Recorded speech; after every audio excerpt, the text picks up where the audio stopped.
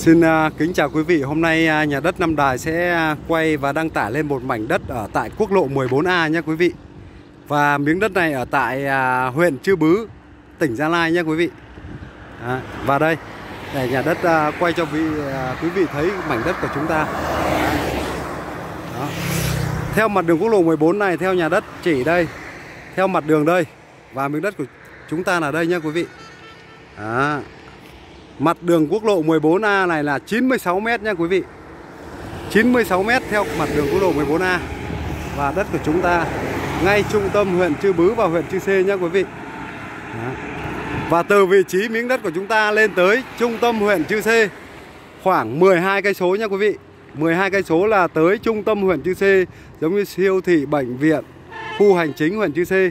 Và đi tỉnh Gia Lai nhé quý vị. Từ vị trí này lên tới tỉnh Gia Lai khoảng 40 cây số nha quý vị. Và quay về hướng đây. À, quay về hướng đây là về huyện Chư Bứ, trung tâm huyện Chư Bứ khoảng 15 km nha quý vị. 15 km là tới trung tâm huyện Chư Bứ. À xin lỗi, không tới 15 km, 10 cây số thôi. 10 cây số là tới trung tâm huyện Chư Bứ. À, và hướng này chúng ta đi Đắk Lắk, Đắk Lông, Sài Gòn nha quý vị. Đấy là hướng về hướng như nhà đất đã chỉ đây Và mảnh đất của chúng ta như quý vị đã thấy Đó.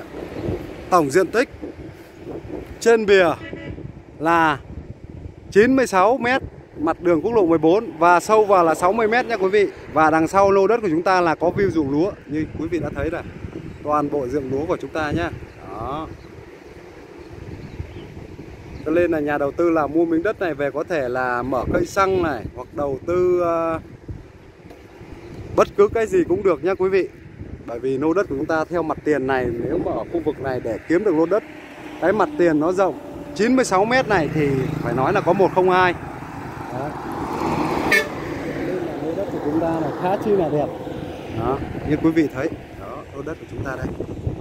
Đó, đằng sau lô đất của chúng ta là toàn bộ là khu ruộng lúa. Và bên kia là là bên xã nhá, khu dân cư ở đằng sau lô đất của chúng ta sau ruộng lúa là trung tâm xã ra giòn à. lô đất này quý vị đầu tư có thể về làm bất cứ cái gì cũng được nha quý vị ví dụ như là mình xây à, khu nghỉ dưỡng hoặc biệt thự hoặc là cây xăng hoặc nhà nghỉ khách sạn gì ở đây cũng đẹp hết nha quý vị Đó. để nhớ đất nhắc lại là theo mặt đường quốc lộ 14A của chúng ta là 96 m nha quý vị Đấy, và gần lô đất của chúng ta liền kề lô đất chúng ta là cây xăng như quý vị đã thấy. Đó một cây xăng thật to ở đây.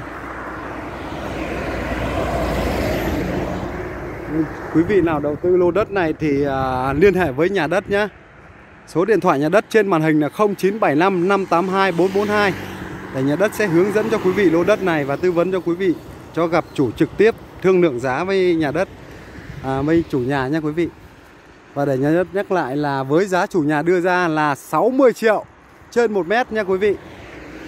60 triệu đồng trên 1 mét, chiều ngang theo mặt đường, Có thương lượng giá lọc nhẹ cho quý vị, Bao sang tên bìa đỏ cho quý vị.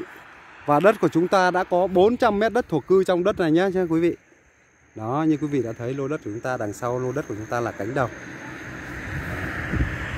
Toàn bộ là cánh đồng hết phải nói là chỗ này để mà xây một cái khách sạn hoặc là một cái nhà để chúng ta nghỉ dưỡng ở đây thì quá tuyệt vời. Đó, đường xá thì thuận tiện. Đường xe chạy Nam Bắc nhôn quý vị. Đó, như quý vị cũng đã biết là con đường quốc lộ 14A này của chúng ta là con đường là đi Nam Bắc đi các tỉnh lộ các huyện các tỉnh miền Trung miền Nam miền Bắc là chúng ta đi theo con đường này hết được nhé và để nhà đất nhắc lại Từ vị trí miếng đất của chúng ta lên trung tâm huyện Chư Sê Khoảng 15 km Và quay lại huyện Chư Bứ của chúng ta Thì khoảng 10 km nhé 10 km là tới trung tâm trường học cấp 1, cấp 2 Siêu thị, có mát, chợ. Đó. Rồi à, Nhà đất xin à, tạm dừng video ở đây. Quý vị nào à, quan tâm tới lô đất này thì liên hệ với à, nhà đất để nhà đất tiếp tục tư vấn cho quý vị về lô đất này nhé. Xin chào và hẹn gặp lại.